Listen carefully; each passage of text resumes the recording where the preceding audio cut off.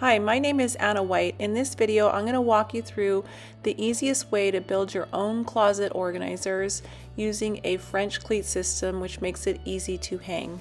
Click the link in the description to download the free project plans that come with this video. The plans include five different components that you can use to create a custom closet. For my closet, I built a five shelf tower and a one shelf hanging unit. All the components follow the same basic build steps. You can use 1 by 12s or 3 quarter inch plywood like I'm doing here and all you do is cross cut your pieces and then drill three pocket holes on each end of all of the shelf boards and then attach the shelf boards to the sides.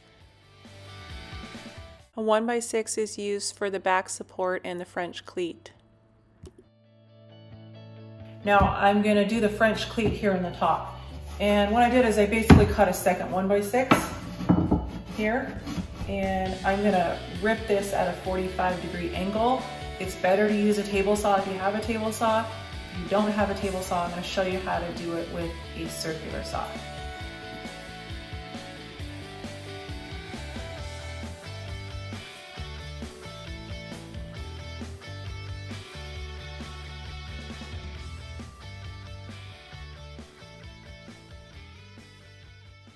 This is the one by six that I just ripped.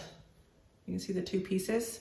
And um, so how this is gonna work is one of the pieces I'll nail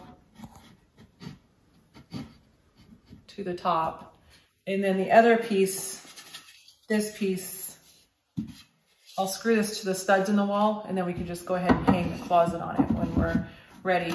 Now, what you, you don't wanna do short pieces like this. What you really wanna do is figure out the entire length of your closet, cut one one by six that entire length, rip it, save one of the pieces for the cleat that goes on the wall, and then use the remaining piece to make these up.